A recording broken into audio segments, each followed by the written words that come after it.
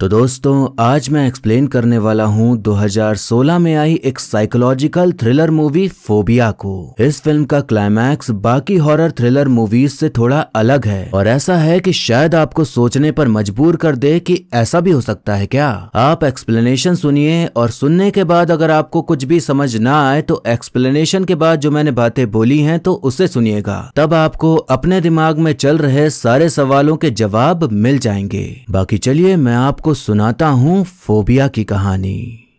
तो मूवी की शुरुआत में हम महक नाम की एक लड़की को देखते हैं, जो कि अपने दोस्तों के साथ एक आर्ट गैलरी में बैठी होती है, जहाँ उसके द्वारा बनाई गई पेंटिंग भी लगी हुई थी। दोस्तों के बीच मस्ती मज़ाक चल ही रहा था कि तभी महक को एक टैक्सी दिखाई पड़ती है, जिसमें से कुछ धुआँ जैसा निकल रहा था और रंग बिरंगी लाइटें जल रही थी। उसे देखकर महक को काफ़ी अजीब सा एहसास होता है, क्योंकि अगले ही पल वो टैक्सी एकदम नॉर्मल दिखने लग सकती है। हम देखते हैं कि महक अपने मित्र शान के साथ टैक्सी में बैठकर घर जा रही होती है। तो शान उसे अपने घर आने का न्योता देता है। तो महक आने से मना कर देती है। ये कहकर कि एक बार नशे में हो गया था तो ज़रूरी नहीं कि बार बार हो। यहाँ समझ आता है कि इन दोनों के बीच पहले कभी गुलू गुलू हुआ होगा। तो शान आज भी उम्मीद कर रहा था कि होगा। पर महक उसे ना कहकर उसके अरमानों पर पानी फेर देती है। शान के जाने के बाद अब महक टैक्सी में अकेले ही होती है। उसने काफ़ी पी रखी थी तो उसे नींद आ जाती है। जिस बात का फ़ायदा उठाते हुए टैक्सी ड्राइवर उसे घर ले जाने के बजाय कहीं और ही सुनसान जगह लेकर चला जाता है। टैक्सी ड्राइवर महक के पास जाता है और उसके साथ ज़बरदस्ती करना शुरू कर देता है। महक पूरी कोशिश कर रही होती है उससे खुद को छुड़ाने की, लेकिन अगले ही पल हम देखते हैं कि वो जख्मी हालत में रोड पर ही पड़ी हुई है।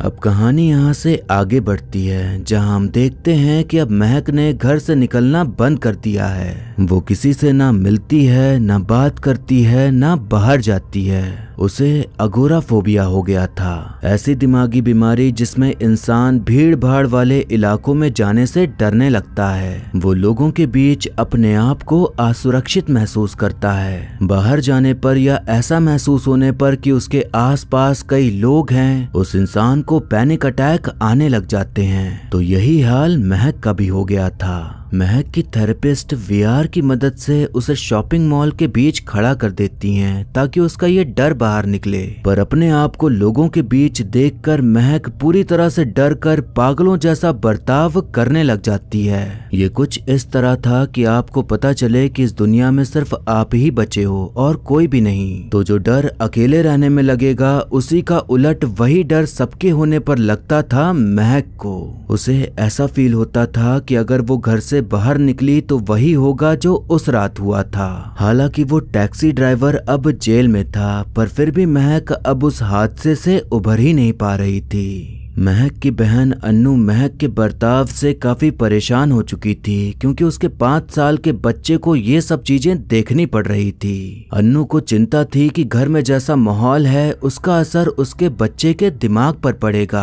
पर महक ना तो अपना इलाज कराना चाहती थी और ना ही कहीं बाहर जा रही थी। खुद भी परेशान रहती और उसके चक्कर में बाकी सब भी परेशान रहते थे। अब हम देखते हैं कि अगले दिन जब महक सोकर उठती है तो वो अपने आप को किसी और के घर में पाती है। तभी वहाँ पर मन्नू नाम का एक आदमी आता है, जो कि बगल वाले फ्लैट में रहता था। उसे लगा कि उसकी दोस्त जिया वापस आ गई है, जो कि इसी फ्लैट में रहती थी। शान बताता है कि हमने तुम्हारी चाय में बेहोशी की दवाई मिलाई थी, ताकि तुम्हें यहाँ ला सके, क्योंकि तुम ऐसे तो कभी आती नहीं। अन्नू चाहती थी कि महक को क्लिनिक भेज दिया जाए, ताकि वहाँ उसका इलाज हो सके। पर शान चाहता था कि महक को थोड़ा और समय दिया जाए, इसीलिए वो उसे यहाँ लाया, ताकि अकेले रहकर वो अपनी बीमारी का सामना कर सके। शान बताता है कि ये घर है तो मेरे दोस्त का, पर उसने किसी जिया नाम की लड़की को किराए पे दे रखा था। लेकिन वो काफ़ी समय से गायब है, न किराया दिया, न डिपॉजिट लेने आई। शायद भाग गई तो अब तुम यहाँ रह सकती हो। घर काफ़ी समय से बंद था तो महक बाथरूम की सफ़ाई में लगी होती है। तो उसे एक अंगूठी मिलती है, जिसे वो अपनी उंगली में पहन लेती है। तभी उसे नाली से किसी लड़की की आवाज़ सुनाई पड़ती है। ऐसी आवाज़ जैसे उसे काफ़ी ज़्यादा चोट लगी हो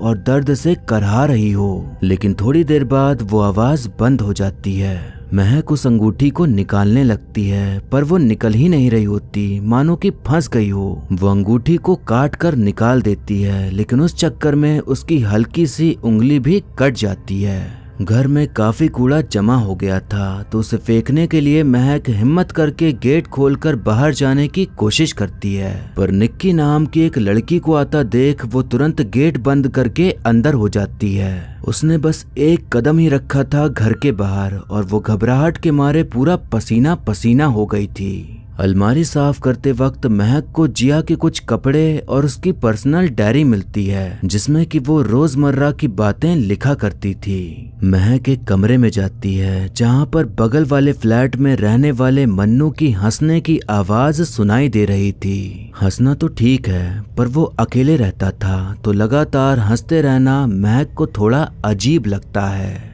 अब हम देखते हैं कि शाम को शान खाना पीना लेकर घर आता है और महक का मूड थोड़ा अच्छा करने के लिए उसे डांस भी करवाता है। महक को शान के बैग से कॉन्डम का पैकेट मिल जाता है। तो उसे ये लगता है कि ये मेरा मूड अच्छा करने नहीं, बल्कि अपना मूड अच्छा करने आया था। पर शान कहता है कि वो उसके लिए नहीं है, बल्कि किसी और के लिए है। मगर असलियत तो ये थी कि शान यही सोच कर आया था, क्योंकि वो हर वक्त ताक लगाए रहता था कि कब महक का कुछ करने का मूड बने और उसके साथ कर ले जो वो करना चाहती है, ताकि उसकी भी इच्छाएँ पूरी हो जाएँ। वो कभी ज़बरदस्ती तो नहीं करता था, बस उसके लिए सब कुछ करते रहता था, ताकि उसकी अच्छाई और प्यार देख के महक उसके करीब आ जाए रात में सोते वक्त महक को एक सपना आता है कि वो अपने मुँह से खून की उल्टी कर रही है। वो पानी पीने के लिए फ्रिज खोलती है तो उसे फ्रीजर में एक कटी हुई उंगली दिखाई पड़ती है, जिसे देखकर वो डर जाती है। लेकिन बाद में उसे कोई भी उंगली नहीं मिलती तो सोचती है कि शायद वो उसका भ्रम था।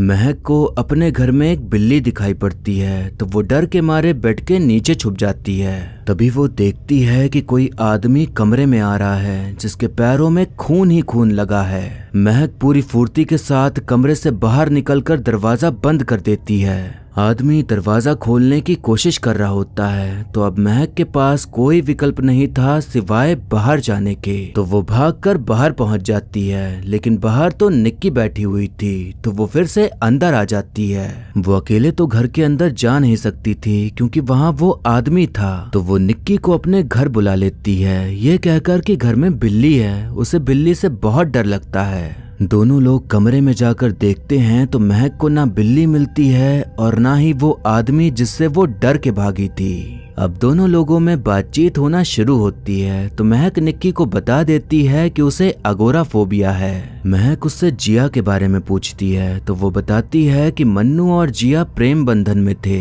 लेकिन उनके बीच खूब लड़ाई होती थी। हर वक्त चिल्लम चिल्ली की आवाज़ आती रहती थी मन्नू के फ्लैट से। निक्की और बातें बताती, लेकिन तभी उसके पिताश्री का फ़ोन आ जाता है। तो आधी अधूरी बात करते हुए वो महक को और टेंशन देके चली जाती है। महक और जानने के लिए जिया की डायरी पढ़ती है तो उसे पता चलता है कि मन्नू उस पर हमेशा गुस्सा करता था, मारपीट करता था। जिया उस रिश्ते से बाहर आना चाहती थी, लेकिन उसे पता था कि मन्नू उसे कभी जाने नहीं देगा। मतलब डायरी पढ़कर यही लग रहा था जैसे जिया मन्नू के साथ बिल्कुल भी खुश ना हो। महक डायरी पढ़ी रही होती है कि तभी उसे कुछ गिरने की आवाज़ आती है तो वो देखने जाती है कि आखिर क्या गिरा। वो जैसे ही सामान उठाकर रखती है, तभी एक सेकंड के लिए उसे कोई लड़की दिखाई देती है भागती हुई। तो वो डर के मारे बाथरूम में जाकर छुप जाती है। उसकी जान हलक में आकर तब अटक जाती है जब वो देखती है कि खून से लथपथ बाट टब से कोई लड़की बाहर आ रही है। महक चीखती रह जाती है, पर उसकी चीख सुनने वाला कोई नहीं था।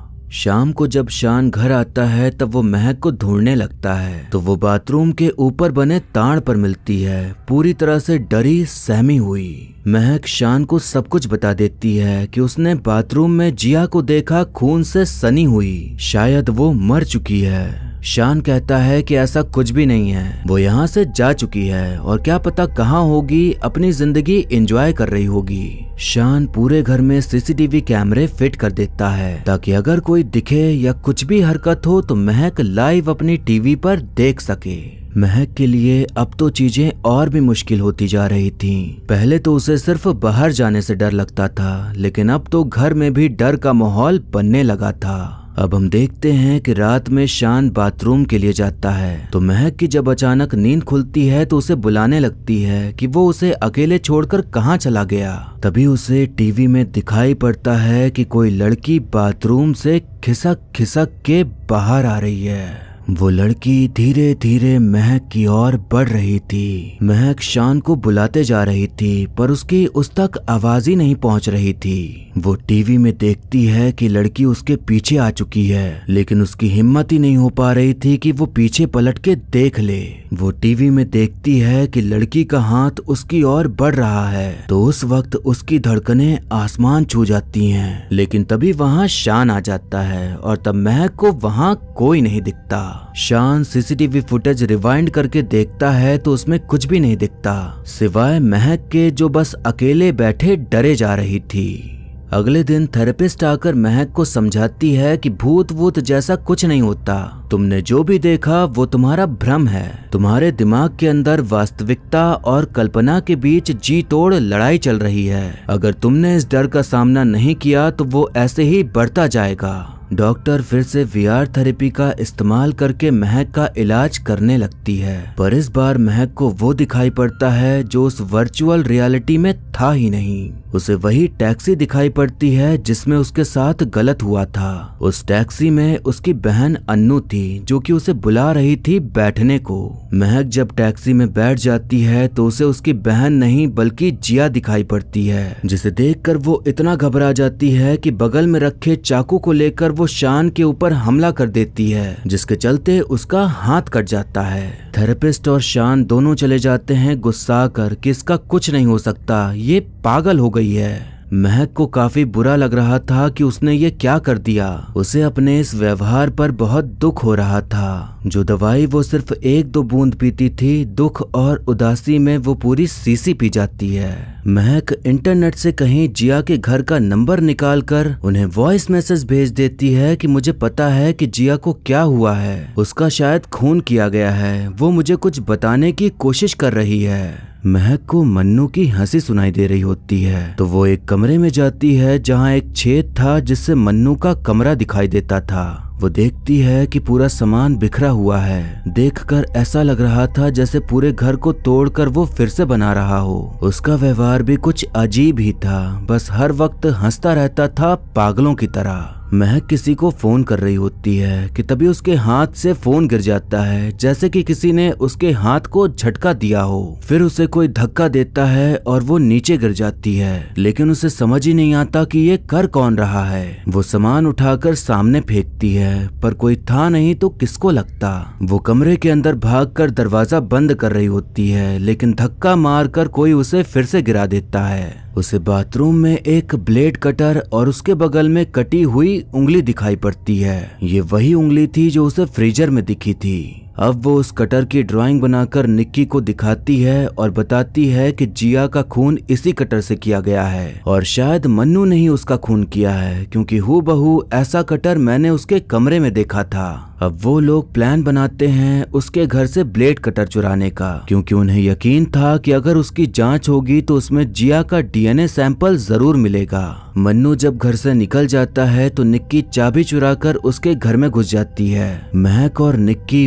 वीडियो कॉल के ज़रिए एक दूसरे से कनेक्टेड थे। निक्की बताती है कि इसने तो अपना पूरा घर तोड़ के रखा है और बहुत गंदी बदबू आ रही है। इससे पहले कि निक्की को कुछ मिल पाता, मन्नू वापस आ जाता है। और उसी वक्त निक्की का फ़ोन बंद हो जाने की वजह से दोनों का कनेक्शन भी टूट जाता है। निक्की को बचाने के लिए महक मन्नू को अपने घर बुला लेती है। वो छेद सही करने के लिए जिससे उसका कमरा दिखता था। मन्नू कहता है कि मैं आर्किटेक्ट हूँ, पता नहीं वो छेद कैसे हो गया। मैंने ना लाफ्टर थेरेपी शुरू की है ताकि मेरा गुस्सा शांत रहा करे। चाहो तो तुम्हें भी सिखा दूँगा। मन्नू हंस हंस के अजीब अजीब चीज़ें करने लग जाता है, जो कि ऐसा लग रहा था जैसे वो साइको हो। तो अब महक को यही लगता है कि हो ना हो, खूनी तो यही है। तो वो उसे कमरे में बंद कर देती है, ताकि वो कहीं भाग ना पाए। उसी वक्त वहाँ पे शान आ जाता है और वो मन्नू को बाहर निकाल देता है, क्योंकि उसे यही लग रहा था कि महक का दिमागी संतुलन बिगड़ता जा रहा है और अपने में ही सारी कहानी बनाती जा रही है। निक्की को कुछ नहीं हुआ था। वो वापस आ गई थी, वो भी कटर लेके। तो वो अब प्लान बनाती है कि अब जिया खुद आकर बताएगी कि उसके साथ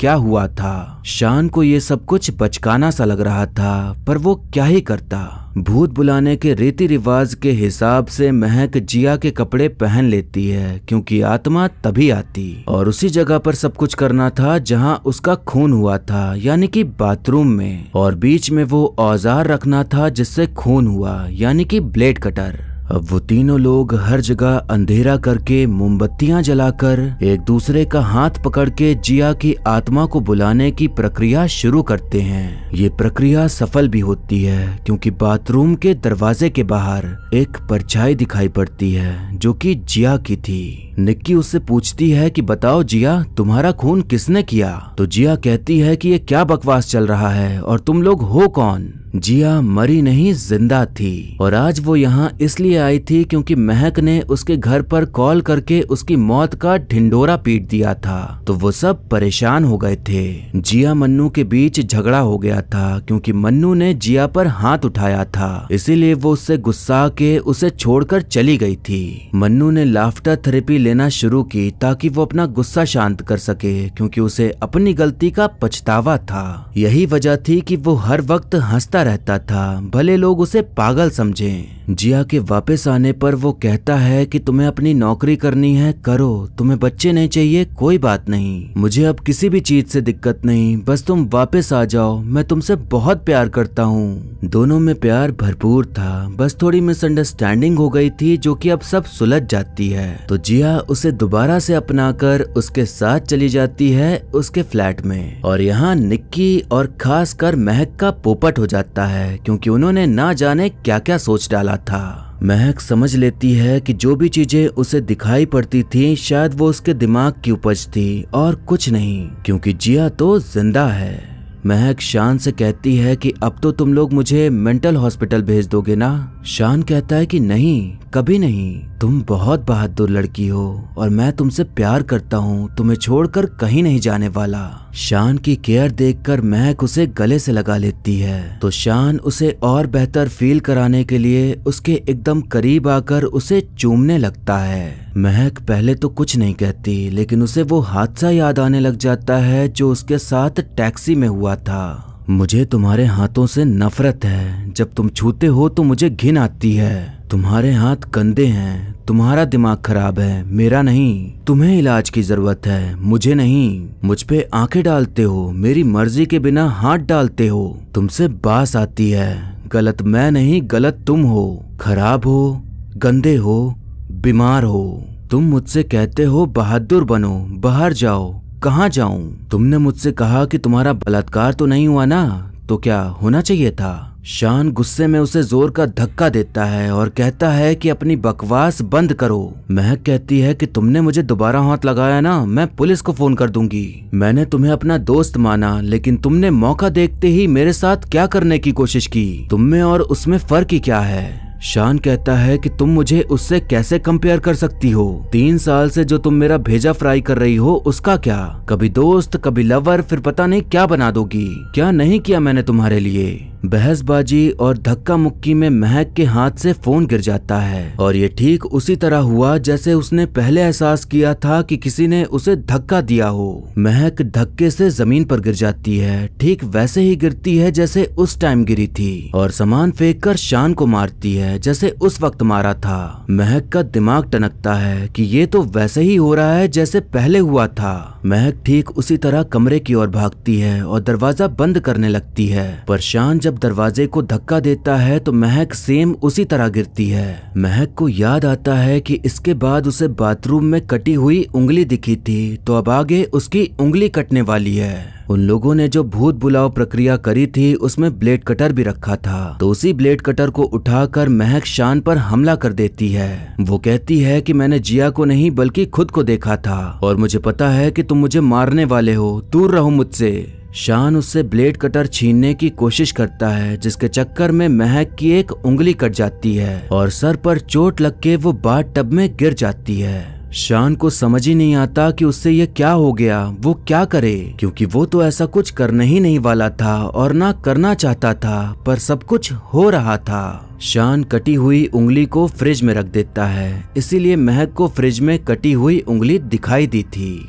महक बाथ टब से निकलने की कोशिश करती है और ये वो सीन है जो उसने देखा था कि कोई लड़की खून से सनी हुई बाथ टब से निकल रही है, जिसे उसने जिया समझा, पर वो तो वो खुद ही थी। महक खिसक खिसक के बाहर जा रही होती है और ये वो सीन था जो महक ने सीसीटीवी फुटेज में देखा था। यानी कि उसे जो भी दिखा, जो भी महसूस किया, वो अपने आप को ही देख रही थी। उसे वो दिखा था जो होने वाला था, जो कि अब हो रहा था। उसी वक्त वहाँ निक्की आ जाती है तो महक की ऐसी हालत देखकर वो अपने पापा को फ़ोन लगाने लगती है। तो शान फ़ोन छीन कर कहता है कि पहले एंबुलेंस बुलाने दो।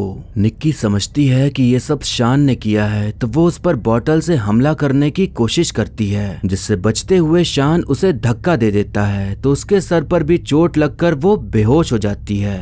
शान का शायद बैड लक का भी बैड लक चल रहा था। वो कुछ भी कदम उठाता तो गड़बड़ ही हो जा रही थी। महक खिसकते खिसकते बेड के नीचे छुप जाती है और तब उसे शान के पाँव दिखते हैं, खून से रंगे हुए। महक उसी तरह मौका देखकर बाहर भागते हुए दरवाज़ा बंद कर देती है। शान कहता है कि तुम मुझसे क्यों डर रही हो? मुझसे क्यों भाग रही हो? तुम्हारी लड़ाई मुझसे नहीं है, खुद से है। अब मैं कुछ नहीं करूँगा। थक चुका हूँ मैं।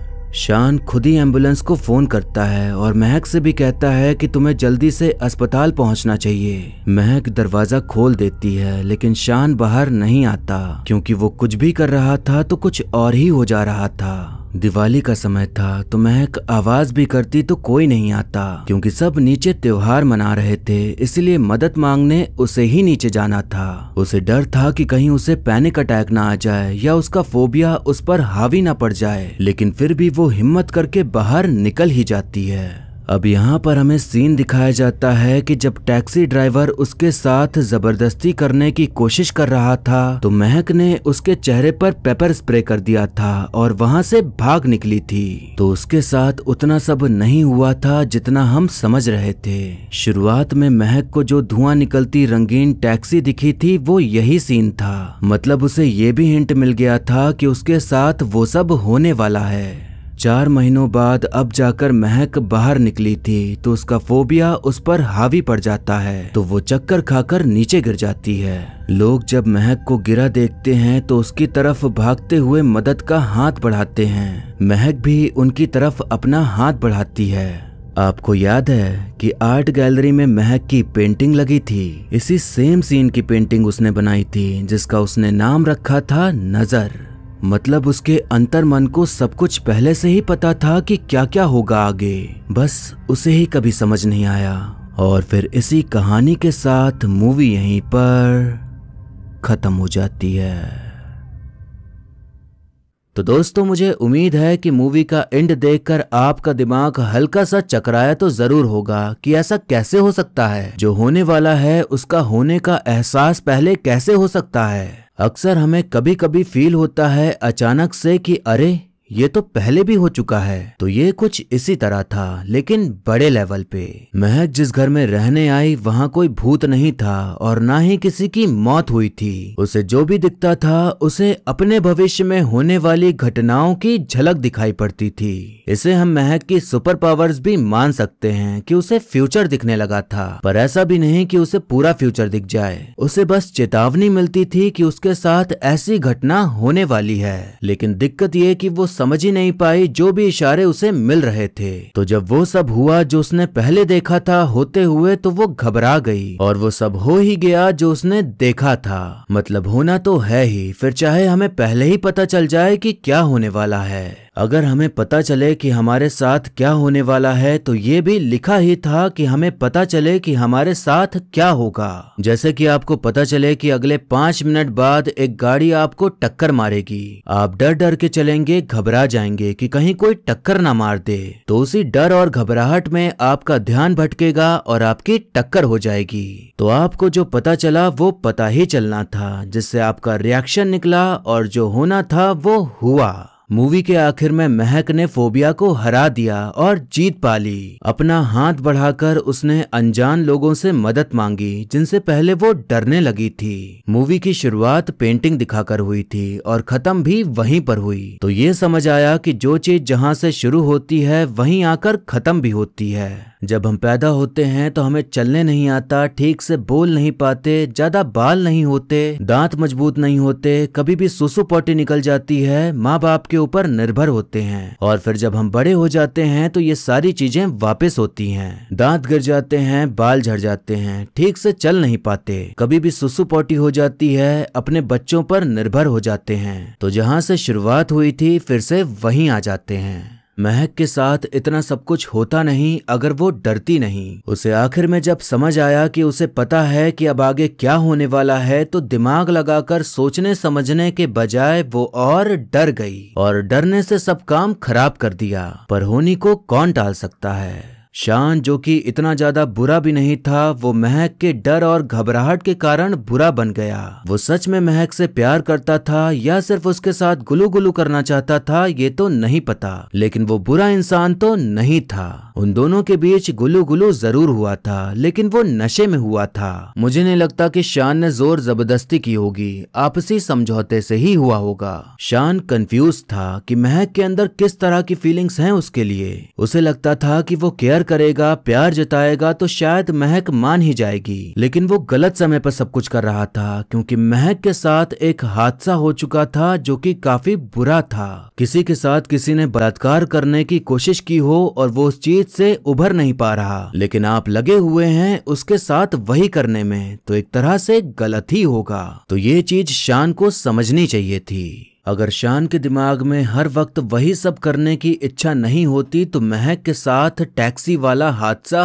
होता ही नहीं। महक को उस वक्त लगा कि शान के घर जाएगी तो वो वही सब करने का ट्राई करेगा, इसलिए वो गई नहीं। अगर शान से उसे अच्छी फीलिंग्स आती तो वो उसके घर पर ही रुक जाती, और वो हादसा टल जाता। सोचने वाली बात है कि वो सब करने का मन नहीं था, इसलिए महक उसके साथ गई नहीं, पर उसके साथ और भी ज़्यादा बुरा हो गया। अगर शान के साथ जाती तो वो इंटीमेट होने का ट्राई करता। वो नहीं गई तो टैक्सी वाले ने फ़ायदा उठाने का सोचा। मतलब चाहे यहाँ जाओ, चाहे वहाँ जाओ, चाहे अपना हो, चाहे पराया हो, फ़ायदा उठाने की कोशिश दोनों करते हैं। फ़िल्म में कुछ चीज़ें थीं जो समझ नहीं आई कि ऐसे कैसे हो सकती हैं। अन्नू ने अपनी बहन को अकेले ही छोड़ दिया। मिलने भी नहीं आई एक बार भी। और अकेले रहने क्यों दिया? उस इंसान को जिसे बाहर जाने में डर लगता है। माना कि वो परेशान हो गई थी, लेकिन हाल चाल लेने तो आना ही चाहिए था ना? जब डॉक्टर वीआर थेरेपी कर रही थी तो वहाँ पर चाकू क्यों रखा था? वहाँ चाकू था ही क्यों? कोई मतलब नहीं था उसका होने का। तो यही लगा कि सीन बनाने के लिए वहाँ चाकू रखा गया। लैंप या फ्लावर पॉट से अगर वो मारती तो थोड़ा सेंसिबल लगता कि हाँ जो मिला उसे मार दिया। महक ने थेरेपी लेना भी बंद कर दिया था। तो अकेले रहकर कोई दिमागी बीमारी ठीक नहीं होती बल्कि और ज़्यादा बढ़ती है। तो उसे अकेले छोड़ने का आइडिया काफ़ी ज़्यादा बुरा था। फ़िल्म में बताया गया कि उसे एग्रोफोबिया था। मुझे एग्रोफोबिया। है. दरअसल वो एग्रोफोबिया नहीं अगोराफोबिया होता है। मूवी में इसका प्रोनाउंसिएशन क्यों बदल दिया? पता नहीं। अब एक्टिंग की बात करें तो पूरे फ़िल्म में राधिका आप्टे ही छाए रही, क्योंकि मेन किरदार वही थी। उनकी एक्टिंग से तो सभी वाकिफ हैं कि वो कितनी अच्छी कलाकार हैं। दोनों ने इस फ़िल्म में काफ़ी अच्छा काम किया है, बिल्कुल नेचुरल एक्टिंग की है। और बाकी जितने भी सह कलाकार थे, उन सब का काम भी सही देखने को मिला। कुल मिलाकर मूवी से हमें यही समझ आता है कि सब कुछ कनेक्टेड है। जो आपकी ज़िंदगी में हो रहा है, वो सब होगा ही, और आप बदल नहीं सकते। आपको पता भी हो कि क्या होगा तो भी नहीं। अगर महक जैसे आपको भी पता चलने लगे कि आपके साथ क्या गलत होने वाला है तो आप क्या करेंगे? क्या आप उस गलत को रोकने की कोशिश करेंगे, या जो हो रहा है, होने देंगे? कमेंट करके ज़रूर बताइएगा। तो ये था एक्सप्लेनेशन फोबिया मूवी का। आपको मूवी और मेरा एक्सप्लेन करना कैसा लगा ये कमेंट करके ज़रूर बताइएगा। और ऐसे ही आने वाली वीडियोस देखते रहने के लिए हमारे चैनल को सब्सक्राइब कर लें और बेल आइकन दबा दें, जिससे कि आपको नई वीडियोस की नोटिफिकेशन मिल जाएगी। अगर वीडियो आपको अच्छी लगी हो तो लाइक कमेंट करके ज़रूर जाइएगा। आपके लाइक कमेंट से मुझे और भी वीडियोस बनाने का मोटिवेशन मिलता है। तो मिलते हैं अब अगली वीडियो में, तब तक के लिए टाटा बाय बाय और नमस्ते।